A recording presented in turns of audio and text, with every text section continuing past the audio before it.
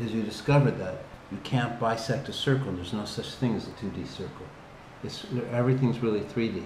Everything has breadth, width, height. Ben, do you have any questions? What's in the middle of this again? I think there's an emanation, that's spirit. It could be coming out of the center of the dome. I just haven't explained polarity.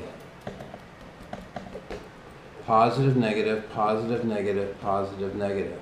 But it isn't based on that. See how the positive is always a mirroring of a negative, the positive is always a mirroring of a negative, the positive is always negative. But for every positive, you have a negative in, um, two positives, you have a negative in the center. And for every negative, two negatives, you have a positive in the center. The center is the control. It looks like it's binary, positive, negative, positive, negative, positive, negative. It looks like it's binary, one, two, four, eight, but it isn't. Because you see this right here? The binary code, now this is real serious, Ben, is over a triangle. That's called triangulation. If you follow the binary code, the angular ratio, if you add every two numbers together that consecutively in sequence touch, 1 plus 2 is 3, 2 plus 4 is 6, 4 plus 8 is 12 is 3, 8 and 7 is 15 equals 6, 7 plus 5 is 12 equals 3, 5 and 1 is 6. It's always 3, 6, 3, 6. What is the binary code doing on a triangle, a mm. triangulated net? It shouldn't be that way. Mm. It's profound. Still with me a little? Mm-hmm. Let me jump tracks for a second. The scripture is stunning, the Baha'i scripture. There's a book called The Hidden Words, The Seven Valleys and the Four Valleys.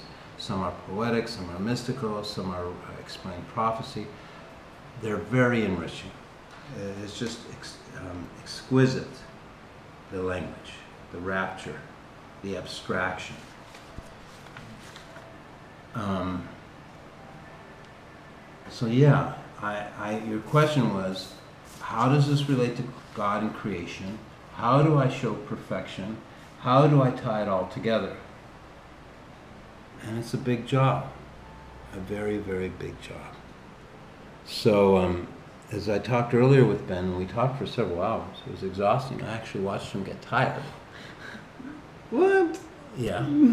I yawned once. Um,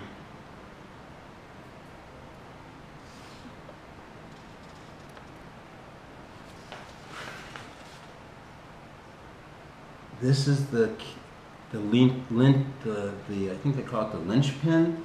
It's the key to everything. There can never be a, be a mistake in it. There can never be wrong. There's no redundancy, and there's nothing that exists outside it.